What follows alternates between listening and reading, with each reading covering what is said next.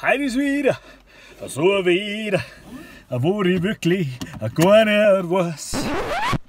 Heute ist wieder so wieder. Heute ist wieder so wieder, wo ich wirklich gar nicht weiß. Bin ich weit?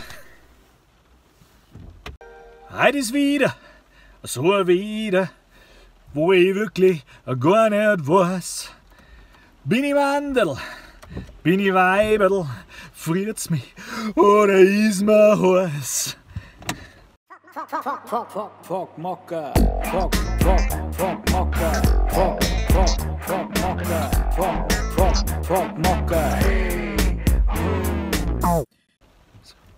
Peace und herzlich willkommen bei mir auf dem Kanal. Bei Regenwetter. Es ist ja Wahnsinn. Äh, Regenwetter, äh, Donnerwetter. Aber mehr als nötig. Ich freue mich, dass es regnet, weil dann brauche ich nichts im Garten machen. ja, ich habe eine große Liste bekommen von meiner Frau, die äh, mir genau äh, darstellt, was ich äh, zu tun mache in der Arbeit. Ja, herzlich willkommen mal wieder bei mir auf dem Kondol. Schon lange nichts mehr gehört, aber momentan ist die Zeit so Corona-mäßig ein bisschen, hm, was nicht. Ich bin so lazy irgendwie, ich weiß auch nicht. Äh, geil ist, weil ich ja rein theoretisch habe mir ja Zeit ohne Ende. Und Zeit ohne Ende heißt, ich könnte ja rein theoretisch trainieren, ja, bis die Pfunde purzeln. Aber, mei, was ist denn los? Mein Gott. Äh, aber äh, ich habe einfach keine Lust dazu. Das Wetter hätte passt, ich hätte Radl von China bis nach Timbuktu und wieder zurück. Äh, ich habe ja bei mir daheim so eine kleine äh, Handelbank, Druck, äh, Dingsbums. Äh, Gym irgendwie so ein bisschen eingerichtet und da, da ist ja das Wetter auch völlig egal. Und äh, auch das kann ich machen, stundenlang, tagelang, aber ich habe einfach keinen Bock. Ich habe keinen Bock. Ich habe keinen Bock, dass ich irgendwie im Garten was mache. Ich habe keinen Bock, dass ich einen Geschirrspüler ausramme. Ich habe keinen Bock, dass ich mein Zimmer oben ausramme und das jetzt sicherlich mal nötig. Es ist Wahnsinn. Ich glaube, das ist so ein bisschen, äh, hat ein bisschen was mit diesem äh, Psychoflop zu tun, den man da jetzt momentan ein bisschen schiebt. Äh, die Leute sind ja, ähm, also es gibt kein richtiges Thema bei dem Video, das ist nur mal wieder ein Fockerchens Heimfahrt-Video, weil auch schon lange keins mehr gekommen ist. Und äh, ich weiß gar nicht, 49, 48, irgend sowas. Ich glaube 50 ist nett, weil 50 möchte ich live machen, wenn es geht. Genau. Ähm, die Leute schieben langsam einen Föhn, das merkt man, weil immer mehr Leute auf die Straße gehen äh, und gegen diese ja, ähm, diese Maßnahmen, die der Staat macht, demonstrieren. Ich kann mir das schon vorstellen, dass das einfach Kacke ist. Also bei mir ist so, bei mir und meiner Frau ist es so, dass wir eigentlich gar nicht viel vermissen. Meine Eltern sehen wir, ach, die sehe ich manchmal auch vier, fünf Wochen nicht. Da habe ich jetzt auch kein Problem damit. Ähm, man kann halt nirgends hingehen zum Essen gehen zum Beispiel, das vermissen wir schon ein bisschen. Aber wenn es nicht geht, geht es halt nicht. Und wenn ich, ich bin ein absoluter Kinogänger, ich liebe Kino, aber es kommen auch öfter mal so ganze Dekaden im Jahr, also Wochen, wo kein gescheiter Film kommt. Da schaue ich mir dann im Endeffekt auch keinen Film an, da vermisse ich es jetzt auch nicht unbedingt. Also auch das geht. Ähm, mit meinen Freunden dann nochmal treffen, irgendwie abends gemütlich eins trinken oder so, ja, das vermisse ich schon auch, aber ja, wenn es halt nicht geht, geht es halt nicht. Also das ist jetzt nicht so, als würde ich jetzt dann Föhn kriegen. Das, wo ich wirklich immer ein bisschen Das, wo ich wirklich immer ein bisschen, ähm, ja, das, was mir ein bisschen auf, aufs Gemüt geschlagen hat bis jetzt, das war einfach, äh, dass das Motorradfahren halt nicht erlaubt war bei uns in Bayern. Und das war schon ein bisschen, ja, da habe ich mich schon ein bisschen kränklich gefühlt, muss ich sagen, weil die Garage steht voll. Äh, habe auch ja, letztes Jahr im, im Oktober ja eine neue gekauft und habe im März auch nochmal eine neue gekauft, eine, eine kleine. Und äh, die ist angemeldet, mit der kann ich fahren. Aber die große, die ich gekauft habe im Oktober, da habe ich noch keine Zulassung. Ich habe heute mit der Zulassungsstelle geredet, die wissen noch nicht, wann sie aufmachen, weil die haben zu. Jetzt haben wir schon bei vielen, ja, nee, du kannst schon, du kannst schon anmelden. Die anderen sagen, nee, du kannst nicht anmelden. Jetzt habe ich mal angerufen, nee, du kannst nicht anmelden. Ähm, die wissen erst am Freitag, ob es vielleicht nächste Woche aufmachen und dann könnte ich dann die große anmelden. Das Wetter soll dann auch wieder passen. Also das ist das Einzige, was ein bisschen so für mich ein bisschen, ja, ein bisschen aufs Gemüt schlägt. Aber alles andere ist für mich jetzt eigentlich persönlich eigentlich nicht relevant, muss ich sagen. Ob ich jetzt irgendwo hin essen gehen darf oder spazieren oder shoppen, shoppen dem sowieso nicht. Also es ist, eigentlich ist es für mich jetzt kein großer Einschnitt. Natürlich musst jetzt überall mit der Maske hingehen, in der Arbeit zum Beispiel hat man auch Maskenpflicht jetzt und so. Das haben es fast ein wenig spät eingeführt, finde ich. Aber äh, das ist ein bisschen ungewohnt und wenn du mit einem am Telefon redest oder wenn du so an, ja, an einem hinge oder vorbeigehst oder einen besuchen musst in der, ähm, in der Abteilung, dann ist es ein wenig blöd, was du kaum verstehst oder der versteht dich dann nicht, dann musst du immer so schreien, aber das ist okay. Ich denke mal halt immer, Mensch, du, bei dem, bei denen Leuten, die jetzt momentan umeinander laufen, ist es eigentlich eine Verschönerung der Welt, wenn, man, äh, wenn manche Masken tragen. ja, ich nehme mich, mich nicht davon aus. Ja, die Welt ist leichter zu ertragen oder für die Welt ist es leichter zu ertragen, wenn ich eine Maske aufsetze. Ja, das ist halt so. Aber Humor musst halt trotzdem noch haben und dann geht es eigentlich auch viel leichter.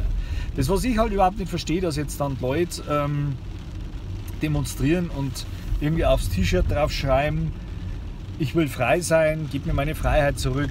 Ähm, Mundschutz ist gegen Menschenrecht und also äh, ja, jeder hat so seinen Hieselprim im Kopf, aber bei manchen verstehe ich es einfach wirklich überhaupt nicht. Interessant ist, dass, muss ich mal kurz die Lüftung anmachen, weil nämlich, Moment, wird gleich wieder leiser. Ich glaube, so ist gut, oder? Ja. Ähm, was ich nicht verstehe, ist, wir haben jahrelang eigentlich immer die gleiche Ausrede. Wir haben die Ausrede, mein Gott, die Zeit vergeht so schnell, ich habe überhaupt keine Zeit für mich oder meine Familie oder ich habe keine Zeit für die wichtigen Dinge im Leben. Ich hetze von Pontius zu Pilatus und ich muss unbedingt nur den Termin und die Arbeit und schon wieder ist eine Woche um und schon wieder sind vier Wochen um. Ah, das letzte Mal haben wir uns gehört, mein Gott, ist das schon wieder ein halbes Jahr her, aber du weißt doch, wie es ist und man hat einfach keine Zeit und so weiter. Jeder wünscht sich Zeit für sich oder seine Familie oder sein Hobby oder keine Ahnung was. Jetzt hat er es. Geht es genauso. Und ich muss sagen, ich genieße das. Man merkt es auch, dass ich eigentlich ja filmen könnte bis zum Davonlaufen. Aber ich mache Kleinigkeiten, die ich sonst sehr, sehr selten mache, zwar schon auch gemacht habe. Und das, äh, da bin ich eigentlich ganz froh drauf und stolz drauf, aber ähm, jetzt genieße ich es mehr, länger. Ähm, ich habe dann oft da und denke mir, Mensch, eigentlich sollte ich mal wieder ein Video machen.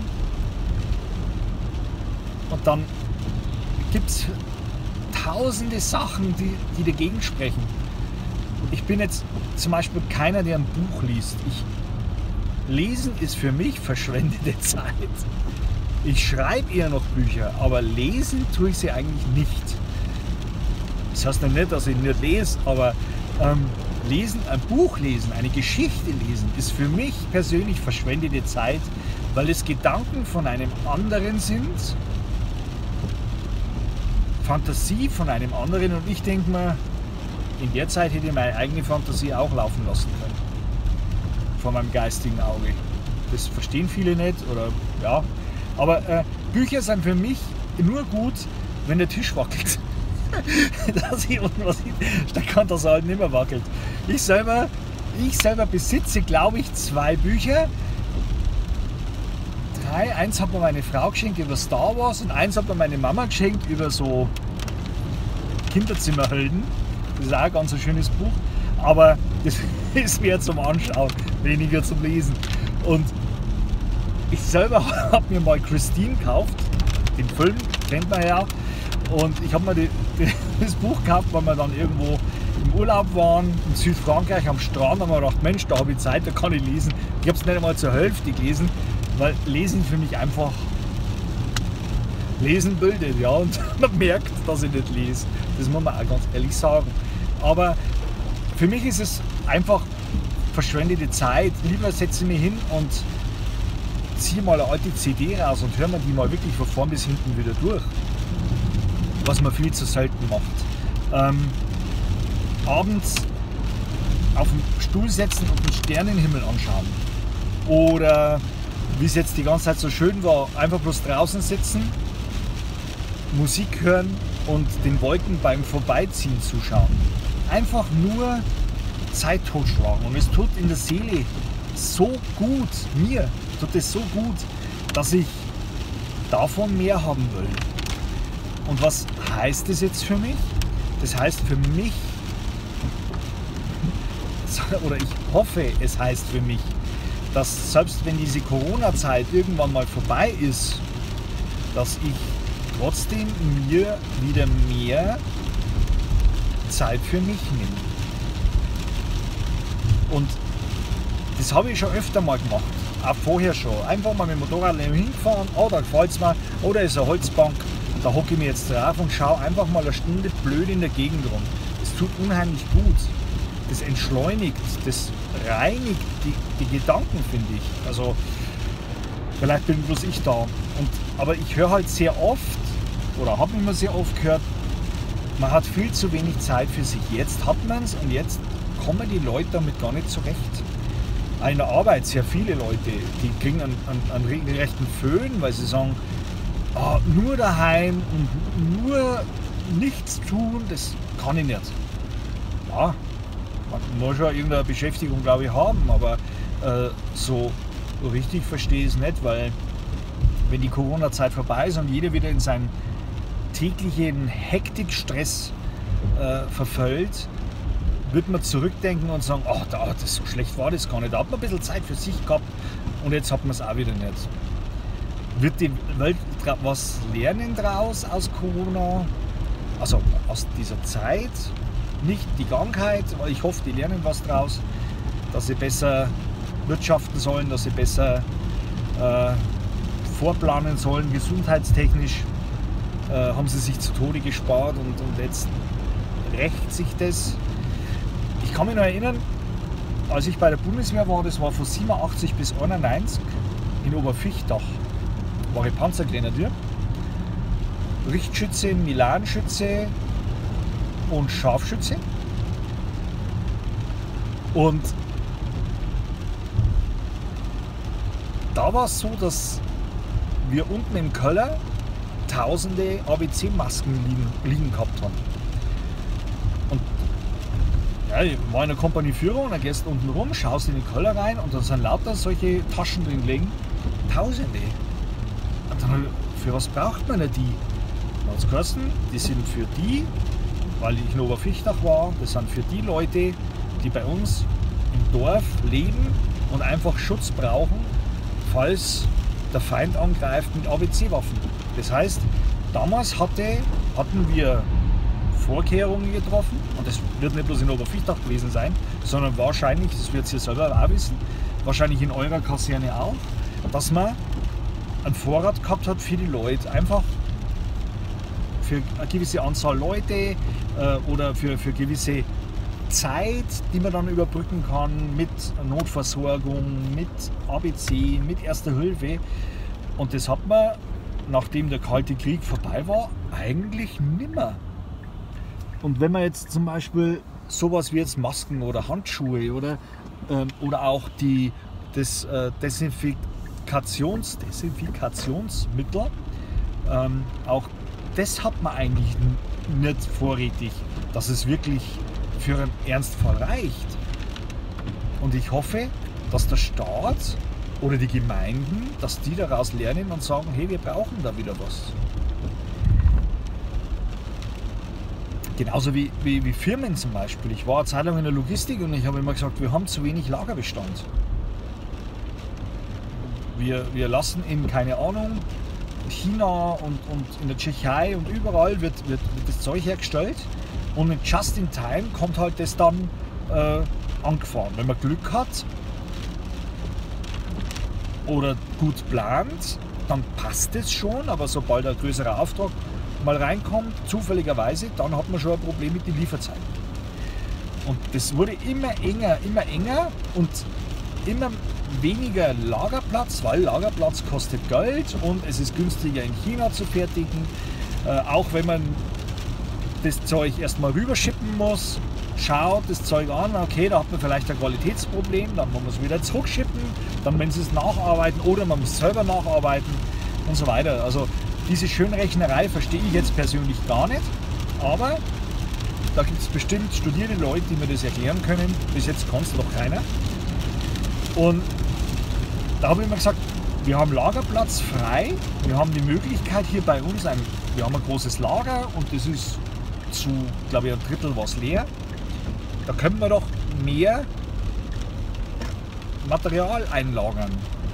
Und jetzt ist es so, dass sie jetzt halt Probleme haben, weil China mittlerweile produziert zwar schon wieder, aber ähm, eben noch nicht lang. Und jetzt werden die Teile eng und werden ausgehen.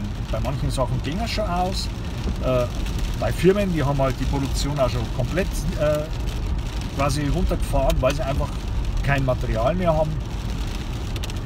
Und vielleicht werden wir wieder ein bisschen regionaler, dass man sagt, regional lassen wir die Teile herstellen und wir werden ein bisschen mehr auf Lager bringen. Ja? Weil auch die Teilehersteller kriegen ja ihre Teile meistens aus China oder aus dem Ausland auch. Vielleicht, vielleicht lernt man da auch wieder was draus. Vielleicht lernt man auch daraus, dass man zum Beispiel nicht überall zweimal, dreimal im Jahr mit dem Flugzeug hinfliegen muss. Sondern dass man einfach sagt, ich, bloß äh, weil das Flugticket 79 Euro nach London kostet, fliege ich jetzt einfach übers Wochenende nach London. Ähm, man sieht, dass die Welt, dass die Natur sich erholt. Ist noch nicht ganz natürlich, das wird noch dauern.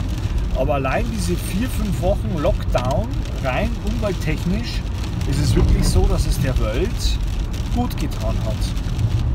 Man sieht Satellitenbilder, man sieht die, die, die Gewässer werden wieder sauberer und das nach so kurzer Zeit eigentlich schon. Ähm, Konsum über alles, auch ich muss mich da an die eigene Nase fassen. Das ist einfach, auch ich bin ja konsumabhängig, wie, wahrscheinlich wie fast jeder. Es gibt nur ganz wenig Leute. Ich selber kenne jetzt gar keinen. Äh, ich kenne aber so vom Hörensagen, das hört man halt oft in die Kommentare, ja, ich äh, habe den Konsum völlig abgesagt und denke mir, naja, kannst auch nicht, weil sonst du keinen Rechner und könntest jetzt dein, dein Kommentar gar nicht posten, weil wenn du den wirklich so entsagt hättest, hättest du jetzt auch kein Handy oder keinen Rechner.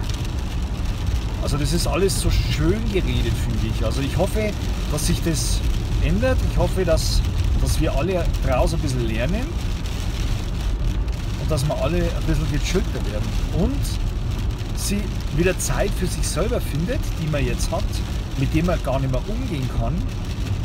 Und dass wir das wieder lernen. Dass wir wieder lernen, Zeit einfach auch mal ungenutzt verstreichen zu lassen runterzufahren, cooler und lockerer zu bleiben. war jetzt ein Video ohne großen Thema eigentlich. Ähm, auch nichts mit E-Mobilität zu tun. Äh, ich hoffe, dass äh, das jetzt bald besser wird, dass man auch mal wieder ja, E-Motorräder testen kann. Da bin ich jetzt ja schon drüber. Und dass das dann endlich äh, quasi dann mal der Fall sein wird und ich dann wieder mehr Videos machen kann. Weil nur Heimfahrtvideos, weiß nicht, das interessiert euch jetzt wahrscheinlich auch nicht so. Das war's. Schreibt es unten in die Kommentare, was haltet ihr von dem ganzen Corona? Nicht von der Krankheit oder ob das jetzt gefaked ist oder nicht, sondern einfach nur, wie man mit der Zeit umgeht. Wie geht ihr mit der Zeit um? Bleibt ihr lockerer? Bleibt ihr gechillter? Habt ihr einen Föhn und wollt unbedingt wieder die Welt aus den Angeln heben? Schreibt es rein, würde mich interessieren. Servus, sagt locker. Euer Fock.